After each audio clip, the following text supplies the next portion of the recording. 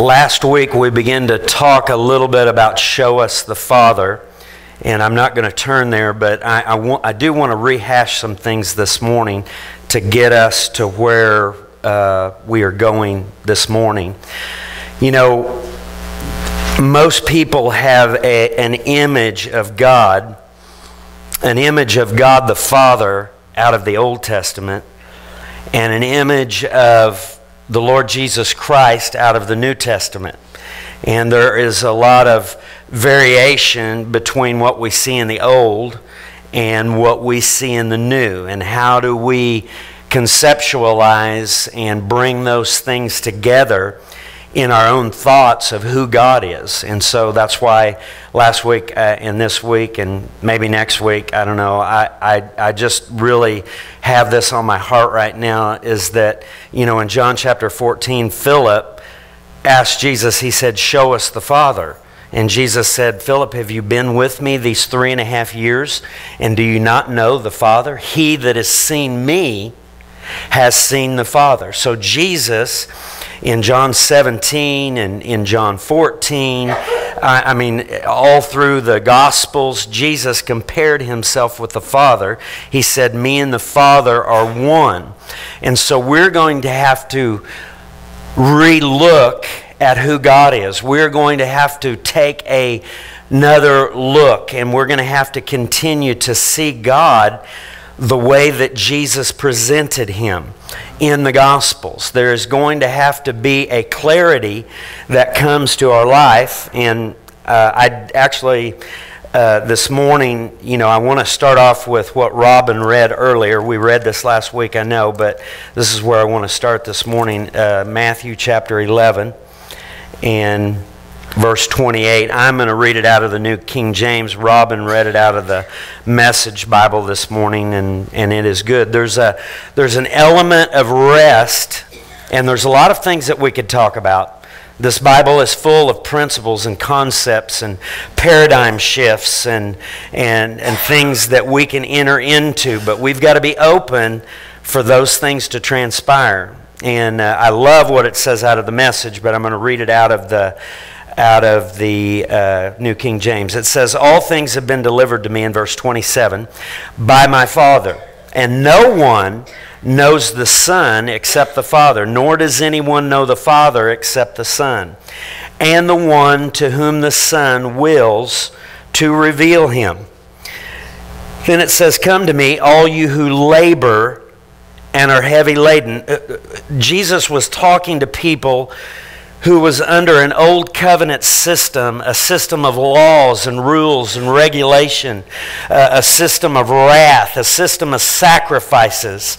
I mean, they, they had been burdened down, they had been heavy laden. The, the Old Testament was a, was a violent place to be living in for 4,000 years from the time that Adam and Eve sinned in the garden and gave way to Lucifer and, and Lucifer began to have power and authority on the earth to do damage uh, to the children uh, uh, of God here on this planet. You know, uh, it was violent back there. And so Jesus, whenever Jesus entered the scene, not only, not only was the Old Testament violent, but Jesus walked into a religious system who, who was violent as well. They entered into that violence because they misunderstood, they misapplied, they misappropriated the things that were happening in the Old Testament.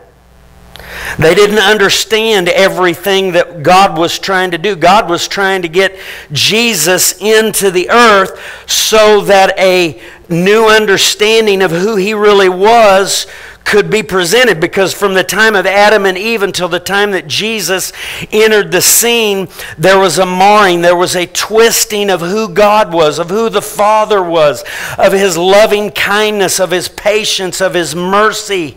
We, think, we see things in the Old Testament that causes us to doubt who God really is. But Jesus was God in the flesh. He was he manifested God the Father. I've I've said this for years is that, you know, as I was coming out of the Baptist church into the charismatic church and and some things in the charismatic word of faith movement wasn't no better than what I got in the denominations. That's right. Amen to that.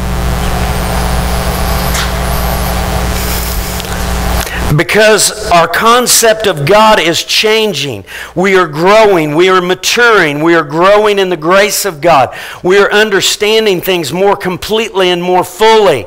The knowledge of God is being opened up to mankind. It's not that He was hiding it from us, He has been hiding it for us. If we would just search it, we would have found it. Look at somebody and say, God's not hiding anything from me. That's how Adam and Eve fell in the garden is they thought that God was withholding or hiding something from them. And Lucifer convinced them that God was withholding from them because he said, it, when you eat of this tree of the knowledge of good and evil, you'll become like God. My submission to you, and I know you've heard me say it a thousand times, but they were like God. Yes.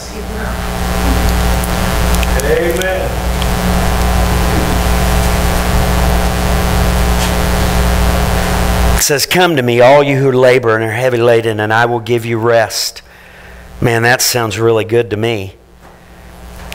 Take my yoke upon you and learn, learn from me.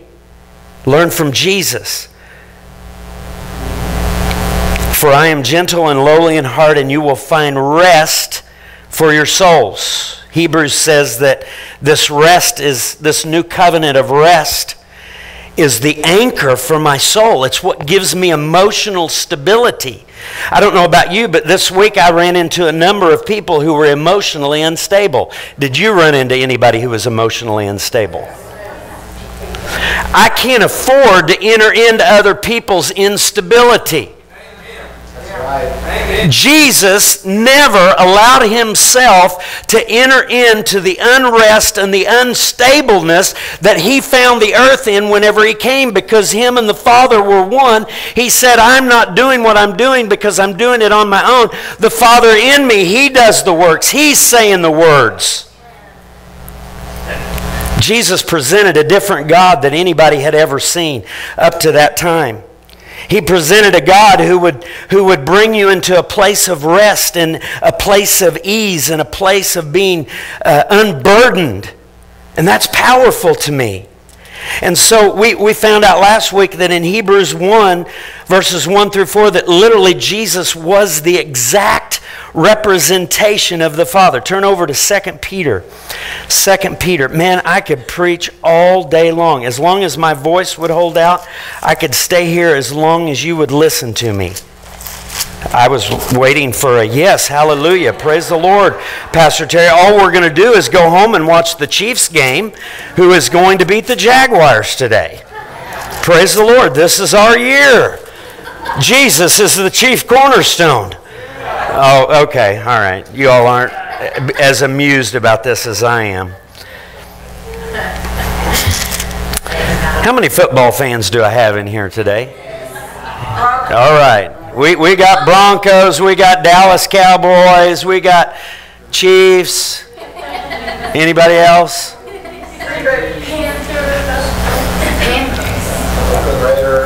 Oakland, oh, Oakland Raiders. Wow. Woo. The arch rivals of the Chiefs. You say, Pastor Terry, what are you talking about this morning? Listen to me. Our concept of God has to change in order for us to really enter into a rest. We've got to begin to understand the fullness of everything that Jesus presented. In 2 Peter chapter 1, in uh, uh, verse 1, it says, Simon Peter, a bondservant and an apostle of Jesus Christ, to those who have obtained like precious faith with us You've already got all the faith of Jesus because you've got Him living on the inside of you.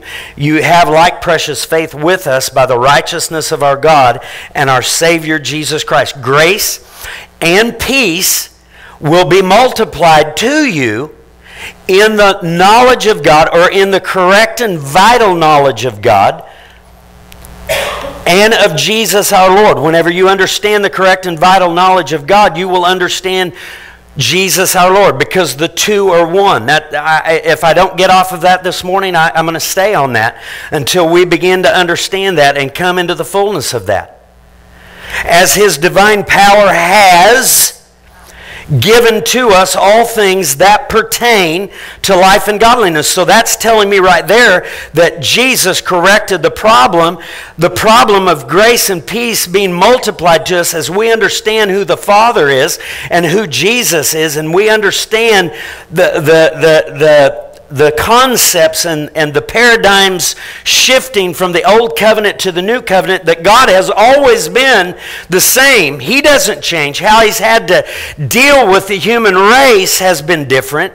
But see, this tells me that as His divine power today has given to us all things that pertain to life and godliness through the correct and vital knowledge of Him who called us by his glory and virtue, by which have been given to us exceedingly great and precious promises, that through these you might be partakers of what you've already been given, the divine nature of God on the inside of you, having escaped the corruption that is in the world through lust. This says that God corrected the problem in Jesus and a knowledge of God the Father and God the Son that has given everything. See, he's not withholding anything. Do you understand that? He's not withholding you. Pastor Jerry, I'm, I'm sick in my body today. I don't care. I don't care what it looks like on the outside. He is not withholding from you. The Bible says that you're already healed through a correct and vital knowledge of God. You know, there was a there was some things in the Gospels, and there's all kinds of places that I could go here. But one guy came to Jesus and he said, "Lord, if it's your will, heal me." Jesus said, "I will." Guess what it was? If Jesus said, "I will," then guess what God's will was? God's will is I will because Jesus and God are one. God has always been the same from, from before He created Adam and Eve until the end of Revelation. Generation, generation after generation. Genesis to Revelation, God has always been the same. The Bible says in Hebrews, in Hebrews chapter 13 and verse 8, Jesus said, I am the same yesterday, today, and forever. So if that's Jesus, then that's the Father. See, our concept of the old covenant God versus the new covenant Jesus, they have to be intermingled and we have to begin to be able to see some things so that grace and peace will be multiplied to us. My Father is Jesus. Jesus is my Father. They are one together. And guess what? Those of us that have obtained like precious faith, we are one with Him. Not going to be, already are. Praise God. Amen.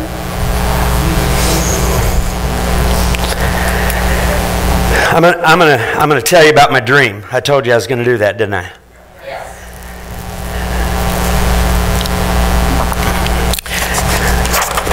Before I, before I get there, let me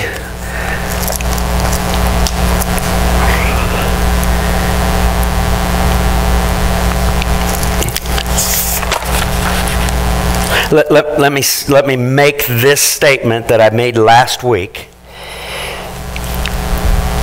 because this is so simple.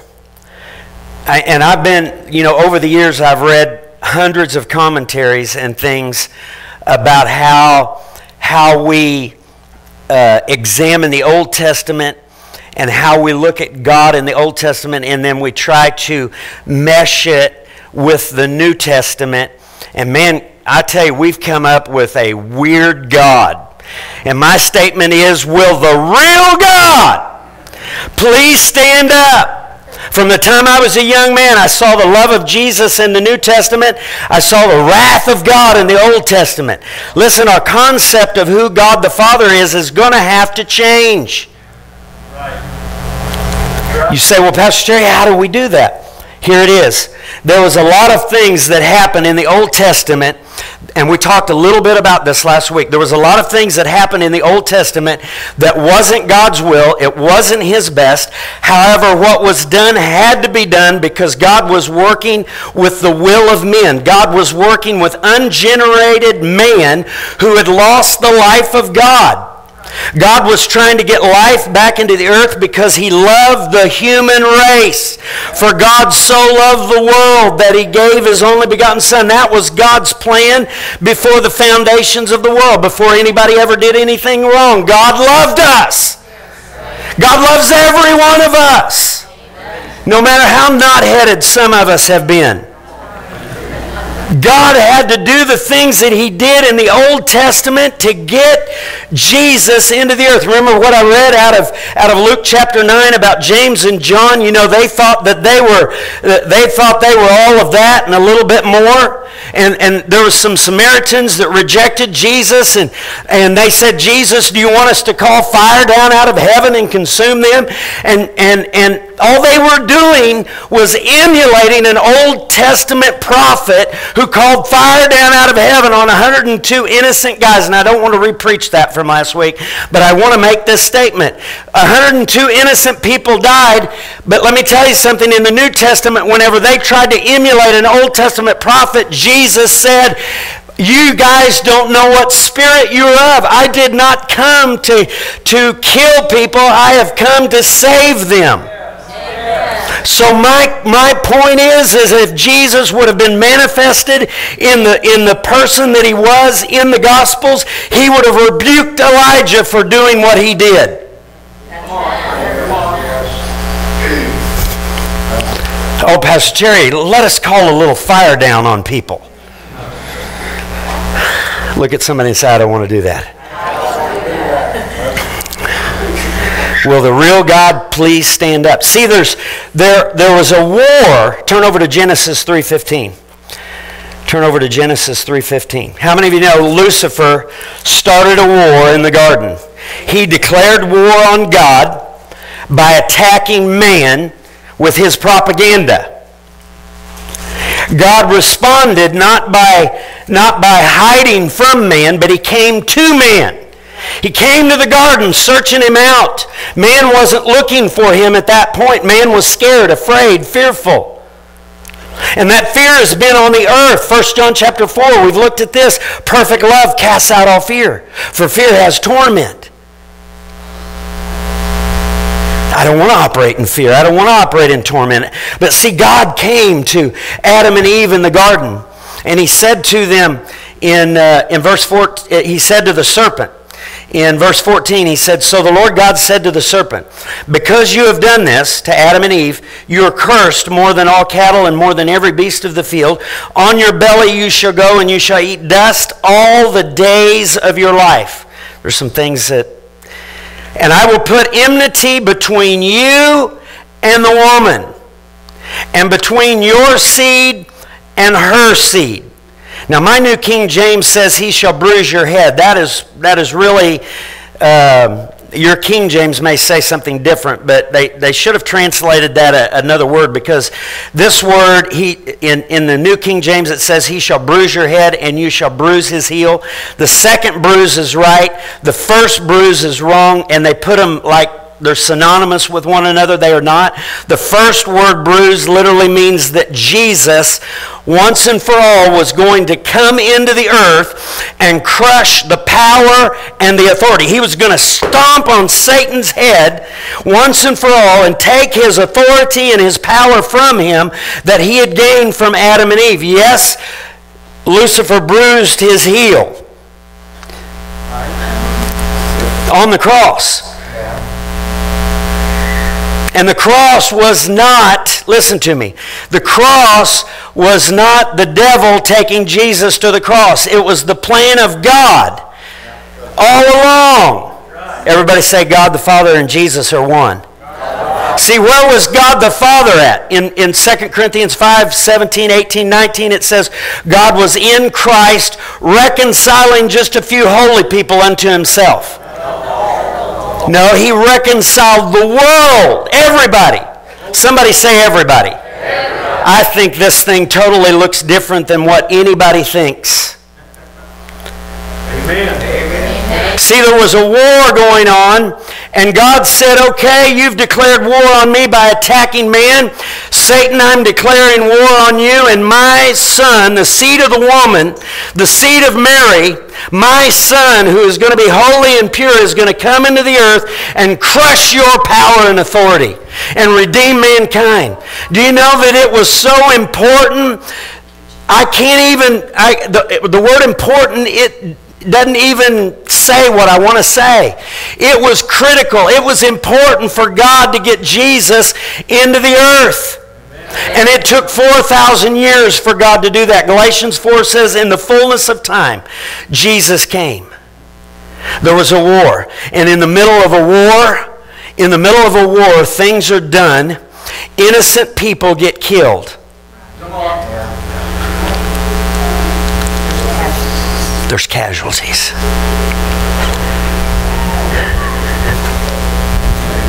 I love my wife.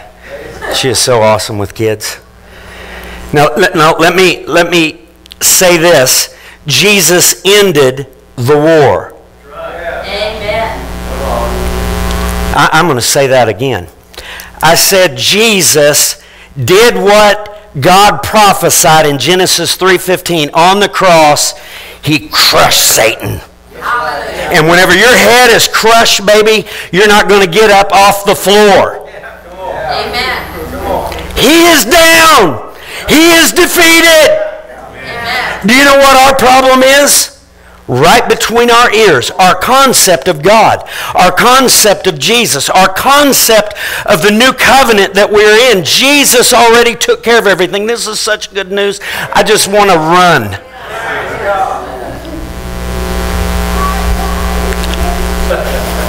Our God is a great big God. Come on. I'm about to start worshiping with them guys. See, here's, here's, here's our problem is that, see, even under the ministry of Jesus, James and John had been with Jesus for three and a half years and they were wanting to call fire down out of heaven because that's all they had seen in the old covenant. Jesus said, No, guys, it ain't this way. See, they were still operating under an old covenant mentality. Most of the church today is operating under an old covenant mentality. Not a new covenant grace and peace mentality because our concept of who we think God is, we don't know God. But I'm telling you, some of us are heading in that direction. Whenever Peter in Acts chapter 5, I, I did not, I was not going to do this, but I am. I'm just going to touch on it. Acts chapter 5, Ananias and Sapphira. You remember Ananias and Sapphira? Man, you talking about, I have heard messages taking up offerings with Ananias and Sapphira. Craig Smith came back from uh, somewhere in the Spanish world, and, and he gave me a picture. I don't have it this morning, but the picture was of this guy that had a uh, an, uh, he had a saying on the front of his shirt. It said, "Tithe or die," and then underneath it had Acts chapter five, Ananias and Sapphira. Man, I've been in services where where uh, people have preached that. Listen, listen to me.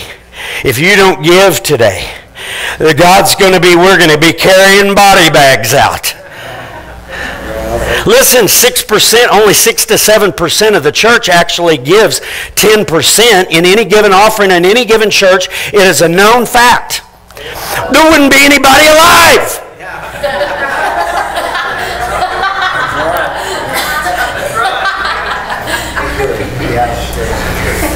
I'm telling you, our concept of who God is is going to have to change. But you know what? Peter was coming out of an old covenant mentality.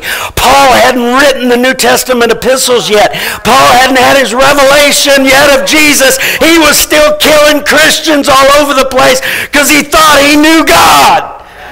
He didn't know God.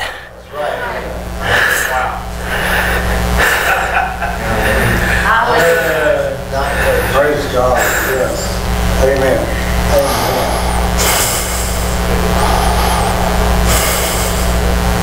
You can think you know God and think that you're doing God's service, but not really doing God's service. Romans chapter 10 says, Paul said in Romans chapter 10, he said the Jews had a zealousness for God, but an inaccurate understanding of who God was. Wow.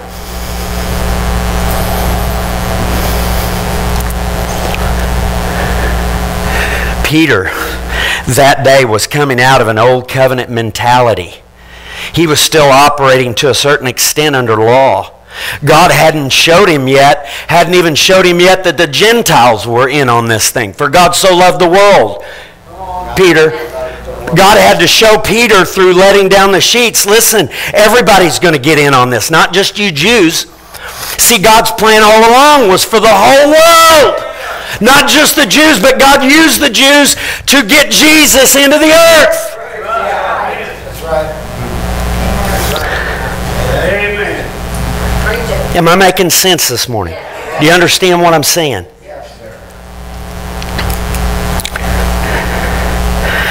Let me real quick go over to, uh, wow, go over to Galatians chapter 1.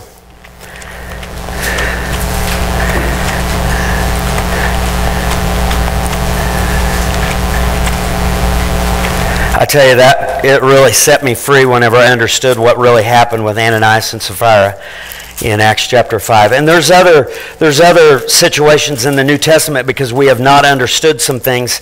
We we throw a we throw a bad we throw a bad light on God. Matter of fact, James says that as far as God is concerned, James chapter 1, there is no variation with God. He is light. He is pure. There's not even any shadow with God. Look at somebody and say, God doesn't even have a shadow. God is such pure light and so, so pure and holy that He is perfect, He is loving, and He is kind. I reject the fact that God is judgment. God is not judgment. God is love. Out of His love, Sometimes judgment has had to come, but can I tell you something? Any of the judgment that has come under the Old Testament was taken care of at the cross. We are no longer under judgment. The judgment of this world has already come, according to John chapter 16. The prince of darkness have already been crushed. Praise God. Praise God. Hallelujah. Everybody found Galatians chapter 1. Li- listen to this. Uh, let's start with verse 14. This is one of Paul's eloquent messages about not mixing grace and law in, in, in the book of Galatians. And he says in uh, Galatians chapter 1, verse 11, he says, But I make known to you, brethren, that the gospel, the good news of grace, because that's what he's talking about in the book of Galatians. The good news of grace, which was preached by me, is not according to man. Well, of course it isn't. Of course it isn't. Because man's thought is judgment, God's thought is mercy. God's thought was mercy to get Jesus into the earth to redeem the entire human race. Look at somebody and say, There's going to be a lot of people in heaven. That's right. Amen. Matter of fact, let me go one step further. There's going to be people in heaven that you don't want there. You need to change your mind. There's going to be people in heaven that you had a hard time with on earth. They're going to be right there with us.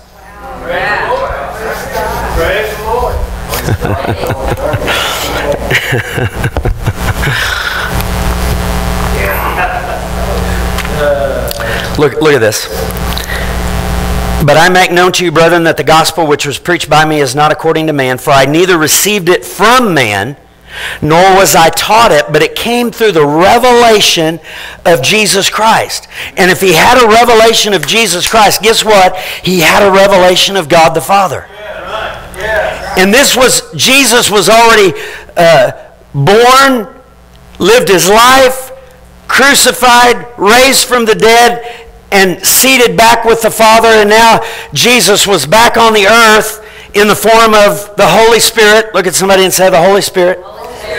And so the Holy Spirit was ministering to Paul. I really believe that Jesus was with Paul for a number of years uh, physically. I believe Jesus was in, in, a, in a manifested state in front of Paul. That's what I believe. You can believe what you want. But whatever happened, he had a revelation of Jesus Christ. He wasn't with the disciples for three and a half years, but he had a greater revelation of Jesus than they had while they were walking with him. Praise God. Well, Pastor Terry, you can't have no revelation of God and Jesus. You, I know where you graduated from high school. You went to Fordland. You're just an old country boy. You, you even, had, you even, had, even haven't even had much schooling. You, you went to Bible school a couple of years, but you can't know all these things. I'll trade your Bible school one for my Holy Ghost that lives on the inside of me. Praise the Lord.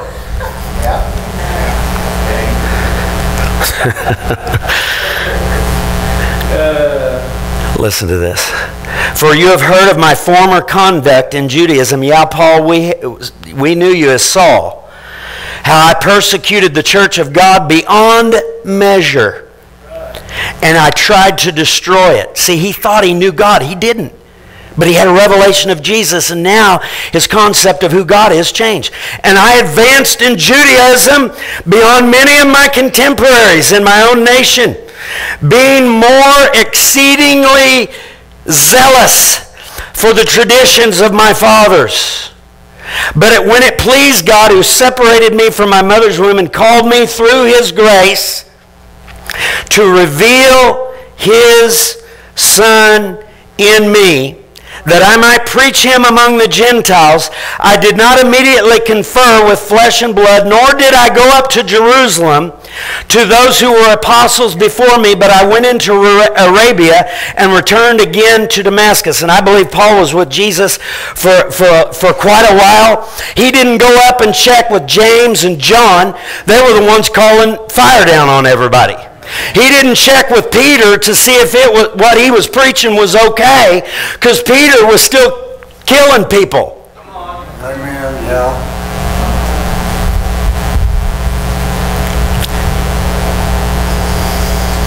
Everybody smile real, real big. Come on, let me see it. Come on.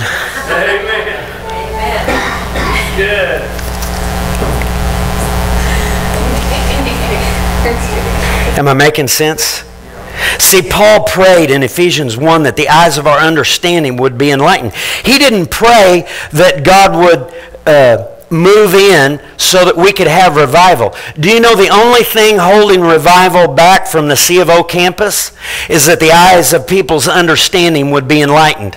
That they might know what is the hope of their calling and what is the riches of His glory that is in us as saints. See, we, we've got people all over, the, and I've been involved with it. You know, the, God starts moving in one area, and everybody goes to Brownsville. Didn't anybody ever hear about Brownsville? Well, God's moving in Brownsville. Well, wait a minute. Isn't God here? Doesn't He live in me? I don't need to go to Brownsville to have God moving in my life. What I need to do is have a little bit of the renewal of the mind and begin to know what Paul knew, begin to have a revelation of Jesus Christ. And you say, I already got it together. Right. See, see, I believe, I believe that as we begin to pursue God in our personal relationship, you'll get so on fire that you don't need to go to a meeting to get fired up. See, I don't go to Pat. I'm getting ready to go to Lynn Hiles uh, conference in West Virginia. Praise the Lord at the end of the month. But I'm not going there to get fired up. He can't. Uh, now I'm sure he'll fire me up a little bit more, but I, am not going there to get fired up. I'm not going there, you know, because I'm just barely dragging in as a pastor. Oh my God, it's so terrible having people in your church, and I don't know if we're gonna. I don't know if we're gonna make it or not. No, I, I, I'm I'm alive. I'm well. See, I don't take on your problems. Hello. Amen. That's why I can stay at rest. That's why I can comfort you in the middle of your stuff. Amen. That's why I won't beat you up. Amen. Hello. God. Everybody say, Show us the Father. Wow.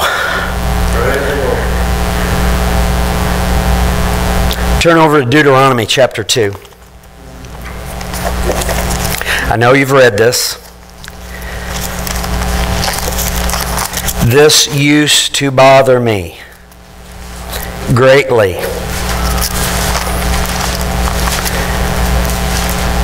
Because I didn't understand that everything that was going on in the Old Covenant, and there's a number of explanations that I could give you that I'm not going to this morning, but there's a number of explanations that I could give you as I begin to read chapter 2 and I want us to read verses 3 and 4. But before, before we read that, let me, let me go a little bit further with uh, Paul's revelation. In chapter 1, he prayed that your eyes would be opened. In, in chapter 2, he said, But God, who is rich in mercy, with his great love with which he loved us. Does that sound like that he had a revelation of the love of God? Yes. Yeah. Chapter 3, he prayed. What did he pray? In chapter 3, verses 14 through 21, that we would come into an understanding of the heights and the depths and the breadths and the lengths of his love. Because in doing that, you would be filled with the fullness of God, of who he is. And then Paul had all this revelation, and you know, he wrote the New Testament, but he wrote the New Testament. The New Testament writers wrote the New Testament. They didn't have the New Testament, they wrote the New Testament out of the Old Testament. All the signs and symbols and the revelation of Jesus is in the Old Testament. There were types and shadows that pointed so that Paul could write it down by the inspiration of the Holy Ghost. He got a hold of it. Everybody say, got a hold of it. Are you ready for this? This is God in the Old Testament to the children of Israel. Chapter 2, verse 1. Then when we turned and journeyed into the wilderness of the way of the Red Sea, as the Lord spoke to me, and we skirted Mount Seir for many days, and the Lord spoke to me, saying, You have skirted this mountain long enough. Turn northward.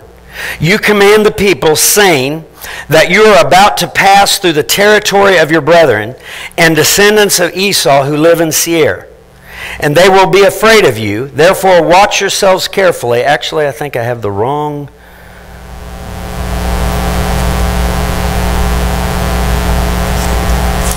Hang on just a second here.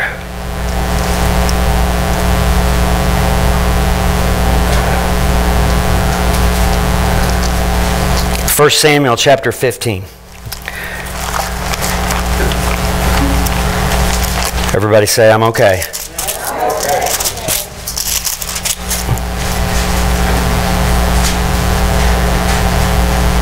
Well, there's a number of places in the Old Testament that God told them to do this. But it, in chapter 15 and verse 2, he says, Thus says the Lord of hosts, I will punish Amalek for what he did to Israel, how he ambushed him on the way he came up from Egypt. Now go and attack Amalek. Now listen to this. This is God. And utterly destroy all that they have, and do not spare them, but kill both man and woman infant and nursing child, ox and sheep, camel and donkey.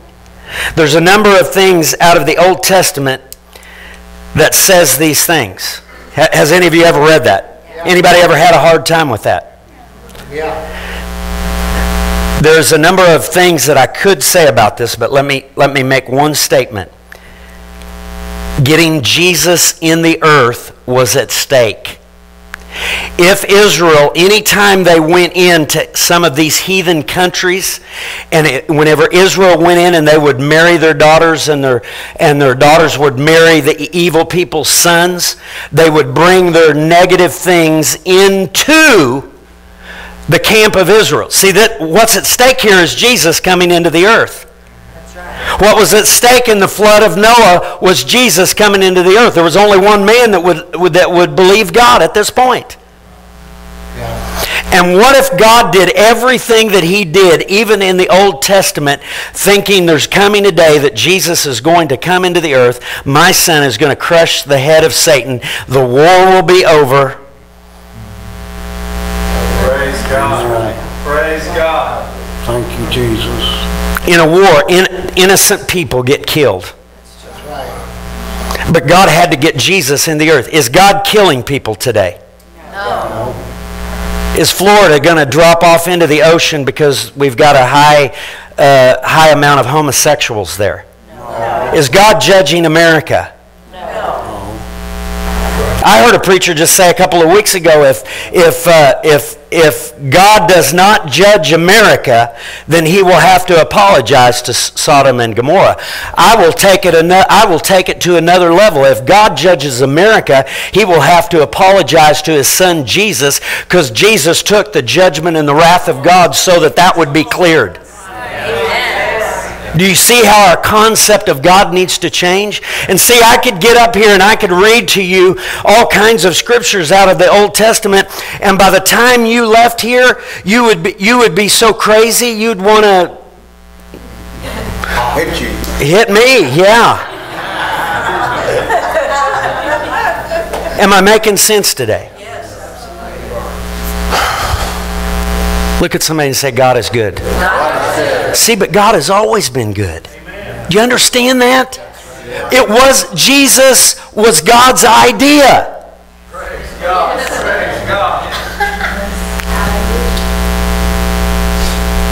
God loves Terry Bench. If I never preach another message, if I never win another person to Christ, if I don't pastor a church, God loves me. Not based upon my performance, but based upon the performance of one man who did it good enough to clear me. But can I tell you, it was God's idea to clear me. He loved me before Jesus cleared me. That's why Jesus came. Perfect good. Amen to hear it. Is anybody glad you came today? Amen. I, I told you I was going to tell you my dream, right? This happened last Thursday and Friday, not this last week, but before last Sunday. I think because I've been studying some of these things, I was with Christian and Davy and Bill and we were decked out in our Israeli outfits. So I guess that means we were Israelis. I had a dream that was full color, vividly. We had swords in our hands.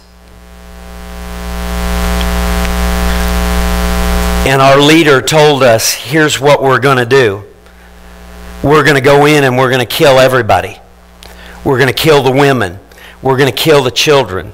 We're going to kill the infants. We're going to kill the nursing. We're going to kill everybody. And Davy looked at me. Christian looked at Bill. We looked at each other. And it was like, okay, we, we have no idea what's going on here. We were Old Testament people. Okay. They didn't understand the mysteries like we we have the mysteries written down. We didn't understand it. So you know what we did? We just obeyed orders. The law. We we didn't want to do it. Christian didn't want to, I didn't want to do it. Davey didn't want to do it. Bill didn't want to do it. But we did what we were told.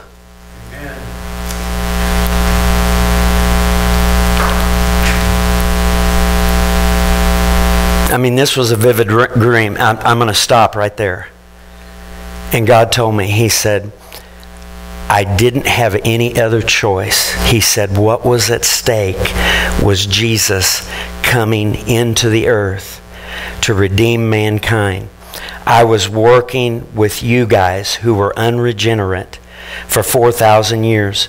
There was time, times that the bloodline, the thread got so small. Noah was the only one left in the time of Noah that would believe God. God always has to have someone in the earth believing and always has to have someone in the earth speaking out his stuff. Even Mary, whenever the angel came to Mary, Mary said, Mary had already been versed in things. She knew that there was going to be a handmaiden in the earth That's right. that was going to have the Savior. I think she believed that she was the one. And she told, she told the angel of the Lord, So be it unto me according to your word. She had to cooperate with God.